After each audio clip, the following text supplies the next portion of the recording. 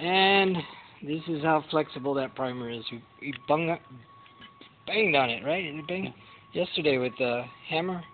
Today put it in a vise, bending it back and forth. We did finally get it to gouge there, but you can see that's a gouge. Uh, the other thing, we last thing we got to demo to you guys is uh, we need to put a torch on it.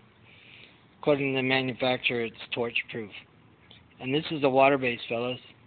One part.